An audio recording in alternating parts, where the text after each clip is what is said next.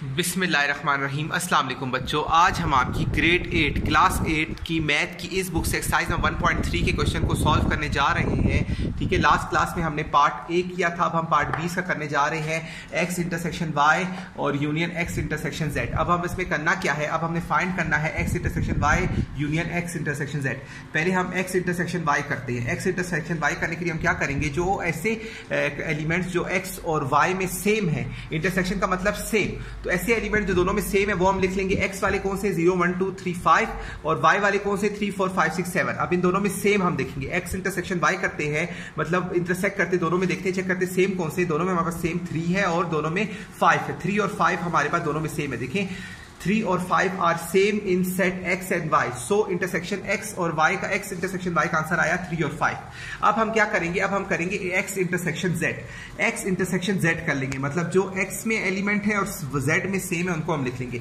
सो so, x का हमारे पास set क्या है? Zero one two three five ठीक है? और जेड का हमारे पास है two five six eight nine कितना है? Two five six eight nine X का है zero one two three five और जेड इंटरसेक्शन जेड का है two five six eight nine अब हमें दोनों में देखेंगे हमारे सेम क्या है? दोनों में बस सेम टू है और फाइव है। देखिए, इसमें एक्स में ज़ीरो है वाई में ज़ीरो नहीं। एक्स में ज़ीरो है जेड में ज़ीरो नहीं है। एक्स में वन है जेड में वन नहीं है।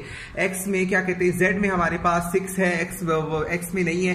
देखिए एट है, यहाँ पे नहीं है नाइन है, यहाँ पे नहीं है। दोनों में सेम कौन से टू एंड फाइव ठीक है? सो अब हमारे पास एक्स एक्स इंटरसेक्शन जेड और X intersection X intersection Y और एंड एक्स इंटरसेक्शन जेड दोनों के आंसर आ गए?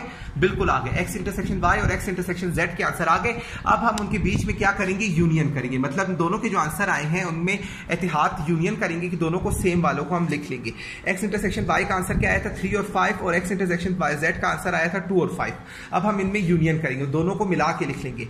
X intersection Y union X intersection Z मतलब इन दोनों के आंसर को यूनियन में हम लिखेंगे तो हमारा आंसर क्या आएगा?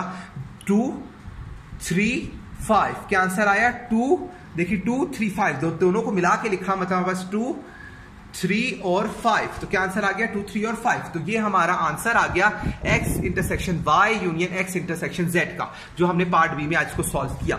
तो ये था आपका आंसर जो आपने घर में भी इसकी प्रैक्टिस करनी है। तो अब की वीडियो में इतना ही। अगली वीडियो में आपको अगले क्वेश्चन को सॉल्व कराएँगे। बच्चों अब तक के लिए इतना ही। उम्मीद है आपको समझ आए हैं। अल्लाह हाफिज।